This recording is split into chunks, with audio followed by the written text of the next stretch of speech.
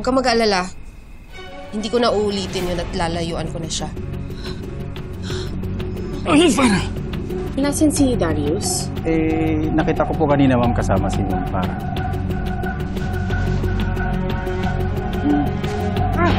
Darius? Kasi sumakit ang ulo ni Farah kaya hinatid ko siya rito. Ako ko pa, siguro sa pagbubuntis ko lang to. Darius, Darius, um, salamat. May surprise ako sa jacket mo, just in case na nabitin ka. Kanino to? Akala mo hindi ko makikita? Hindi sa akin to, kaya kanino to? Gabi, subukan na kong seduce ni Farah. Wala kami ginawa! Kinuha yan ng asawa ko dahil gusto niya na may remembrance galing sa akin. Sinungaling ka. Yan ang chick mong panty! Chick mo! Ay, ay, ay, tama! Tama na! Kayo magkawin! Tama na!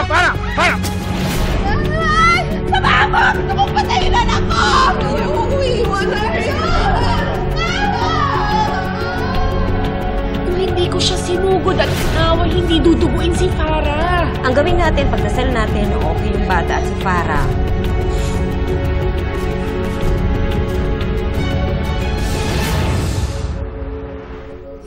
Huwag mo iwan dito, Darius, please. Okay. Huwag mo iwan. Okay, Farah, Farah. Promise me you'll be calm. Yung mamatay ang baby ko. Dahil ito lang ang meron ako na masasabi ko ay akin. Alam mo naman na kayo ni Luz yung bumuo nito, pero nandito siya sa tiyan ko, Darius. Akin pa rin to. At gagawin ko lahat, mabuhay lang siya. Kung kaya mo wala siya sa akin. Kung kahit... Alam mo naman na naging masama akong babae, pero hindi ako masamang ina. At pangako ko sa'yo, mamahalin ko to dahil alam kong anak mo to.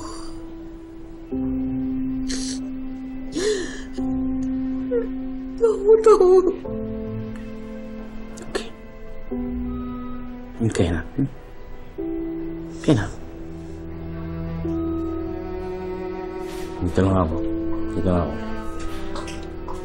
Okay. It's okay. It's okay. Excuse me lang po, sir. Ah. Sige, Doc. I-check ka lang. Relax ka lang, mami, ha? Dito lang ako. Dito lang ako.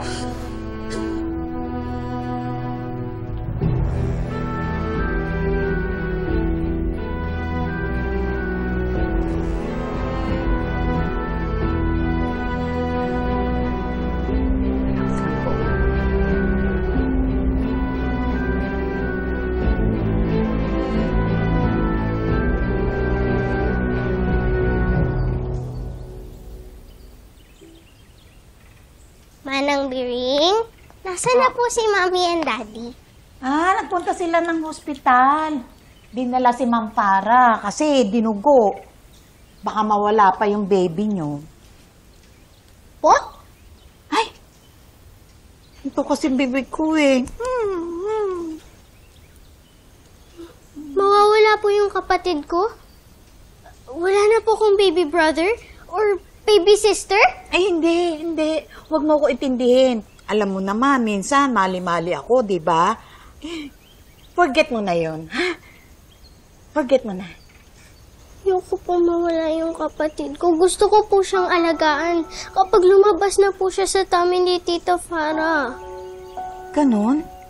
Love mo pa rin yung kapatid mo kahit galing siya sa ibang tiyan?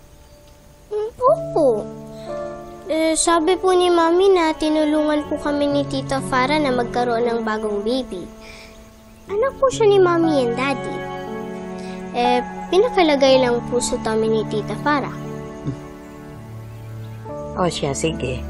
Pag-pray natin ng baby, tsaka ang tita para mo. Okay? Sorry, Cheska, ha? Sorry.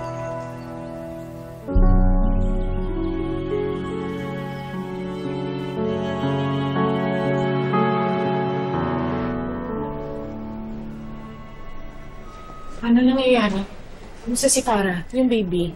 Ah, pinainom na siya ng gamot, ang pakapit sa bata. Nahanap rin yung kanyang heartbeat. Ah, kukunan siya ng ultrasound pagkatapos. God, please save our baby.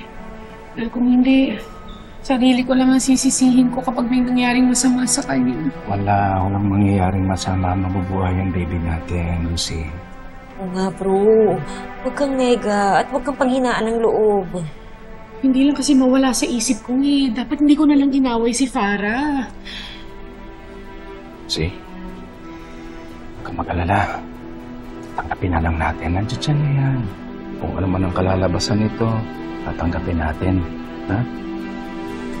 Kahit na anong nangyari dito, hindi natin kagustuhan ito. Tandaan mo, wala tayong sisisihin.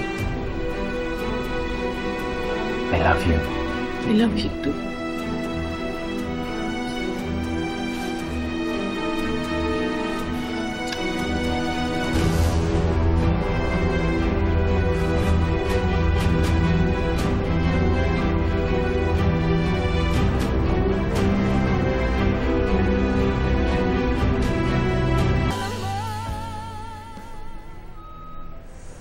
Rito, Bemais. I'm sorry. We did everything. Pero namatay pa rin ang baby niya.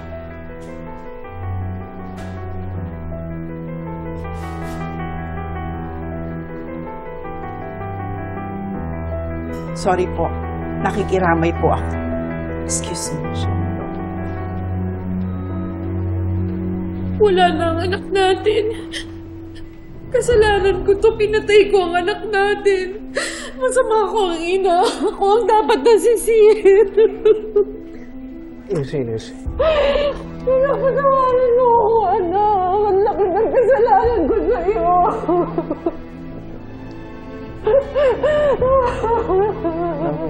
Namatay ka na dahil sa akin. Ako pumatay sa'yo. Ako. Ako yun. Huwag ka na umiyak. Huwag ka na umiyak.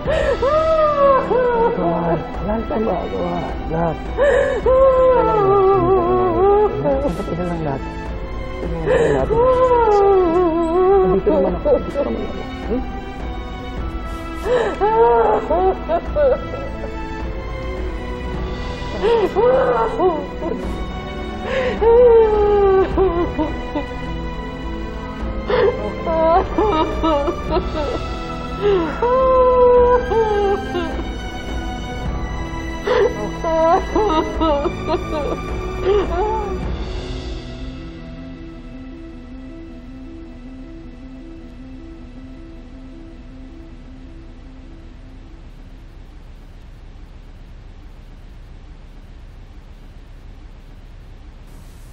Kamusta na po ang pakiramdam niya, Mami?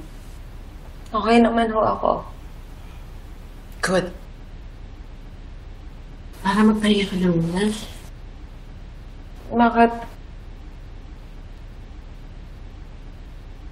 Ano nangyari? Ah, asan yung ultrasound ko, Doc? Gusto ko makita yung baby ko.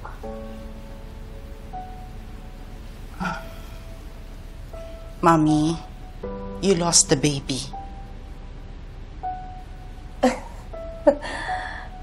Anong lost? Doc naman, baka ikaw yung lost. Nakita ko yung baby ko. Nanaginip ako kagabi, nakita ko siya, ang ganda-ganda niya. Nangalan ko nga sa kanya yung Angel eh. Para I'm so sorry. Pero nakunan ka. Salamat to, Lucy. Ha? Sinungaling ka? Anong nakunan? Di mo pa ako narinig? Nakita ko yung baby ko. Nanaginip ako sa kanya, pangalan niya, Angel. Sinungaling mo talaga. Asan si Darius? Gusto ko siyang makas... Aray, gusto ko siyang makausap. Asan ba si Darius? Para patawarin mo ko kung nawala yung baby dyan sa tiyan mo.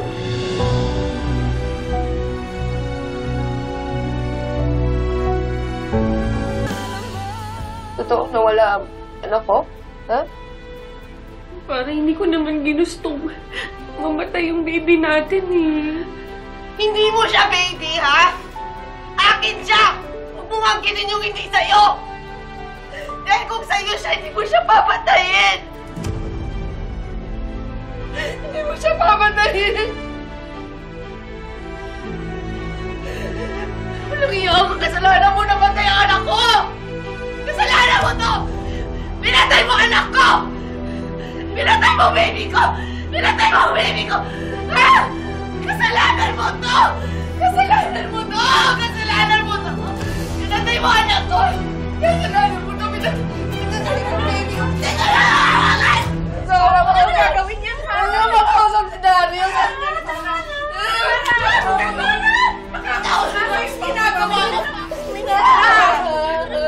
her a shot of tranquilizer. We will give her a shot of tranquilizer.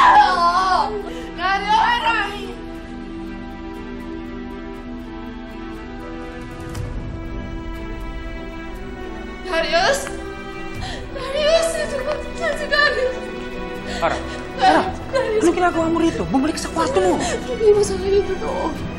Totoo bang wala namin baby sa tiyan ko?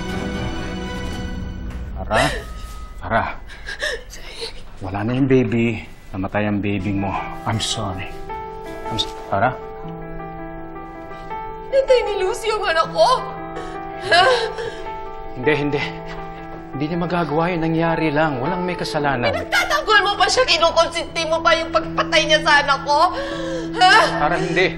Hindi niya magagawa yun. Hindi niya magagawa yun. Anak din niya anak mo. Tara, makinig ka sa akin. Siya mo talaga mamatay yung anak ko, no? Bakit? Dahil pabigat lang ako sa inyo? Ha? Ako nagdadala ng problema sa inyo? Masama akong tao, ganun ba? Kaya ginawa mo siya sa akin. Pes! Wala na kayong magiging problema. Tara! Itiwan mo yan. Makinig, makinig ka sa akin! Makinig ka! Pinatay niyo anak ko! Pinatay niyo!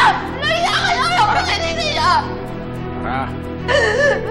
Sa akin, Tara. Bigyan mo yan. Bigyan mo yan sa akin. Bigyan mo sa akin. Tara, please, huwag ka na magalit sa akin. Maniwala ka naman sa akin. Sana, please. Hindi ko gusto mamatay yung anak ko. Pinatay mo anak ko dahil ayaw pumanin ako ni Darius. Napakasama mo! Alam mo, yung bata na lang ang dahilan kung bakit gusto ko mabuhay, kinuha mo pa sa akin! Ikaganti ko anak pinatay! Ikaganti ko anak anak! Pinatay mo anak! Ma'am,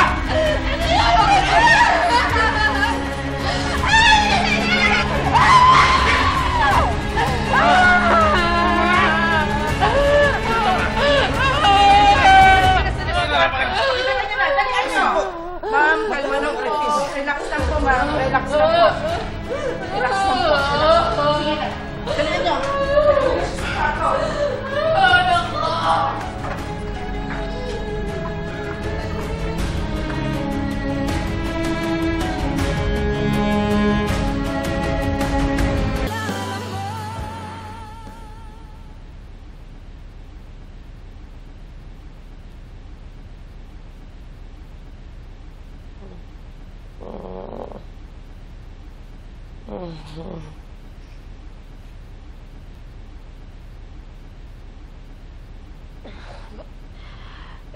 pakawalan niyo ako dito.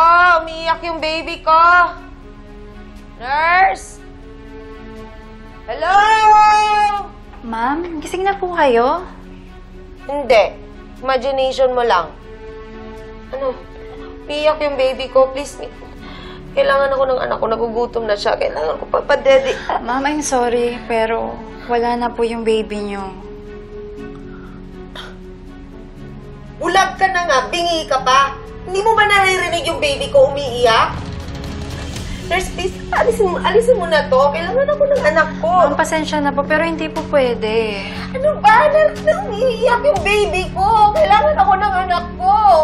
Kailangan niyang kumain. Pakawalan mo ako. Pakawalan mo ako. Tulong! Tulungan ako. Ba? Yung baby ko! Ano ba? Ay! Ah! Ah! Yung baby ko! yung baby ko umiiyak! Awa naman kayo sa akin! Pagawalan niyo ka!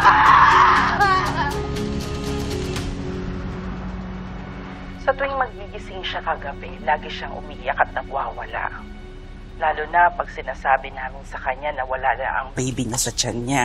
Ano pong pwede natin gawin, Dok? Her symptoms indicate that she's suffering from postpartum depression. Mas makakabuti siguro kung matitingnan siya ng psychiatrist.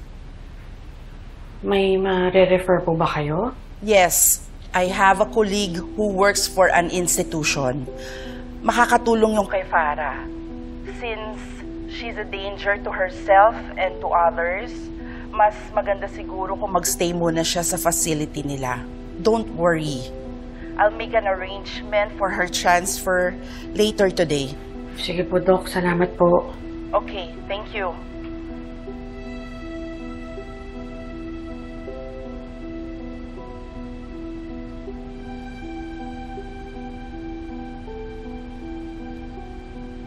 Kamusta na pakiramdam mo, Farah? Namatayan ako ng anak. Ano sa tingin mo? Farah, I'm sorry. May magic ba yung sorry mo? May powers ka ba na kaya mong ibalik sa tiyan ko ang baby ko? Farah, pwede ba? Huwag kang ang sa akin lang magalit. Inahas mo yung asawa ko. Alam nga naman tatahimik na lang ako kahayaan kita. Oo, sinugod kita, inaway kita. Pero wala namang nangyari sa'yo hanggang sa awatin tayo ni Darius. Napahama ka lang naman dahil gusto mo pa rin akong saktan. Sa ako na masama. Ako na naman. Karma to lahat na nangyari sa akin, ganun ba? Well, fate is being kind to you kung iniisip mong ito na ang karma mo. Oo, nawalan ka ng anak.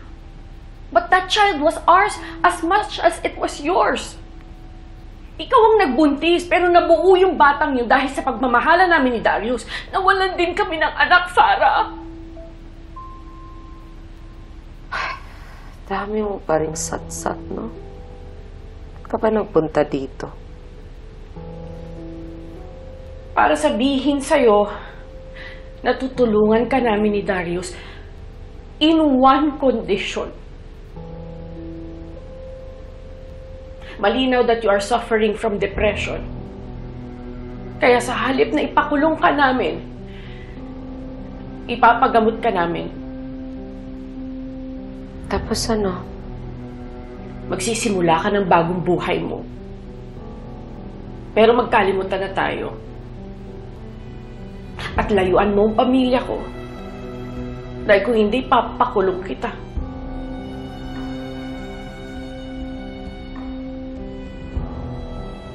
Hindi ko kailangan ng tulong mo. Alam mo kung anong gusto ko? Mamatay ka. Dahil yun lang ang makakaalis sa sakit na nararamdaman ko. Pinatay mo ang tatay ko. Pinatay mo ang baby ko.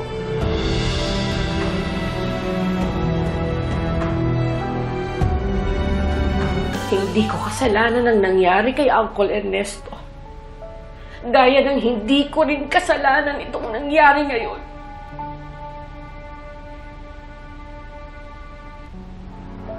Eh, di ba, Farah? Tama nga, tama na itong away na to, sisihan na to, tama na. Ikaw na nga itong tinutulungan, ikaw pa itong galit. Hindi ko kailangan ng tulong mo.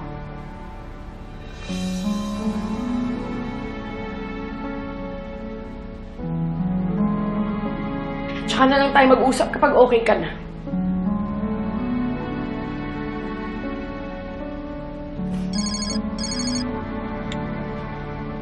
Hello, love. Sorry. Papunta na ako dyan sa Luna Park.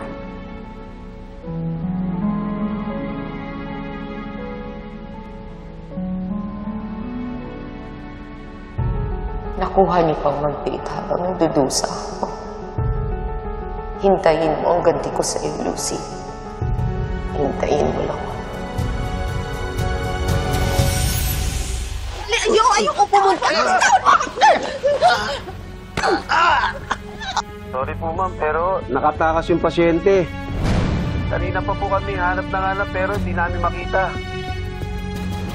Carlos, Para, anong ginagawa mo rito?